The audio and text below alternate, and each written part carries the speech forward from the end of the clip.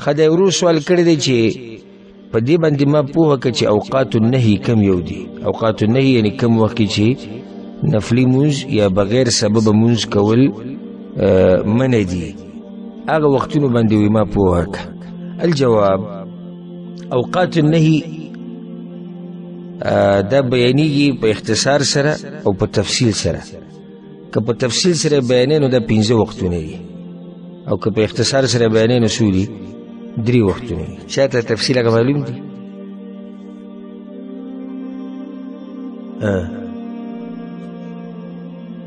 اسمان منځ ته شو کرجي طارق صاحب چې کوم دا جواب صحیح ده خو تک تعبیر یې صحیح کړی درې ټیمه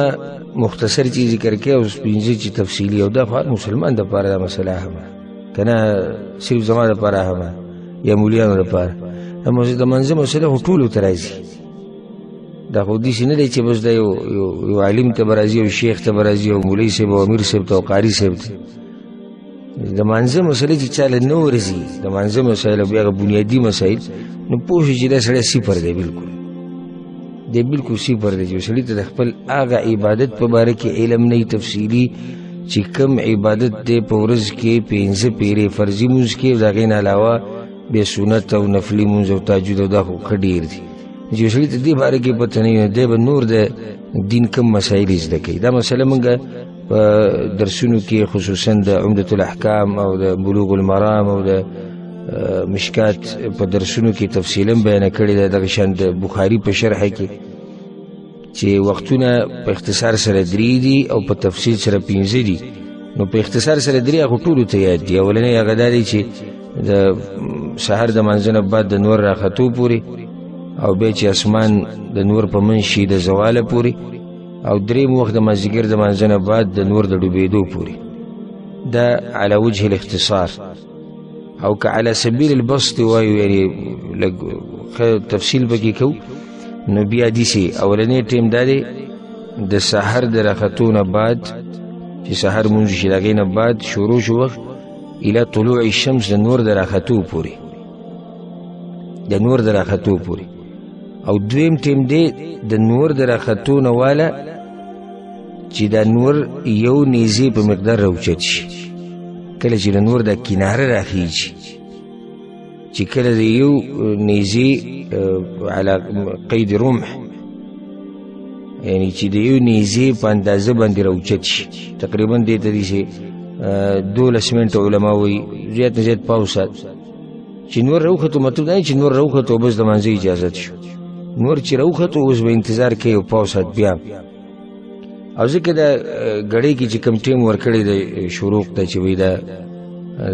نور درختو ټیم دی دینه بعد بم به صبر کې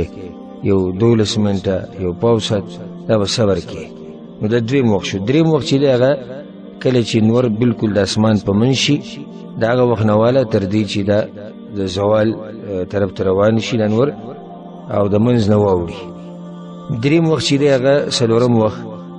هغه د نور د مازیګر د منځ نه بعد والا د نور د ډوبېدو پورې او پنځم وخت چې دی نو هغه کله چې د نور ډوبېدو کې شروع شي د پنځم وخت دی نور د ډوبېدو پورې خو بیا پنځم وخت هغه دی چې کله بلکل د نور په ډوبېدو شي نو د پنځم وخت شو دا علا وجه تفصیل چې کله سره تفصیل کې تفصیلی پنځه وختونه دي او مختصر دغه درې وختونه دي چې هغه ملګرو ټول بیان کو او په دې باندې درایل دی الحمدلله موږ سره د ځان نه خبره نه کو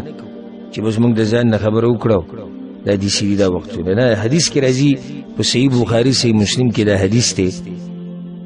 د عبد الله بن عباس رضی الله عنهما وی عمر ابن خطاب رضی الله عنه دا خبره کړې ده او په دې ګواهي ورکړې ده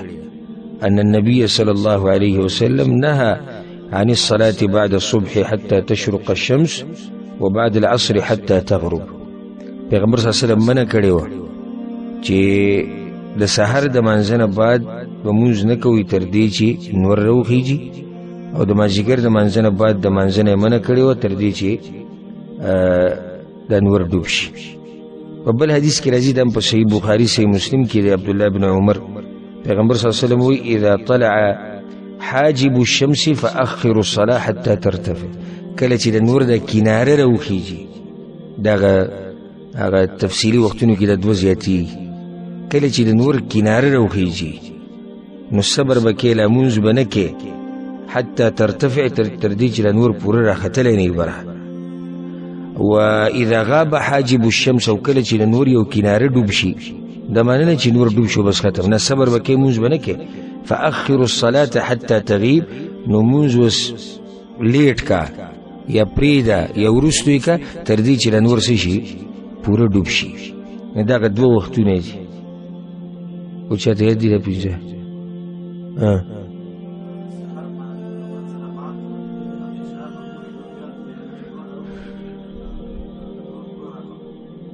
چې کنارې راوخیږي د هغې نه وله نور پوره راختو پر د دویم ټیم شو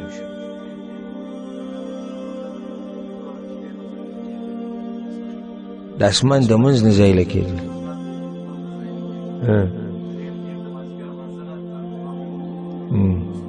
پنځم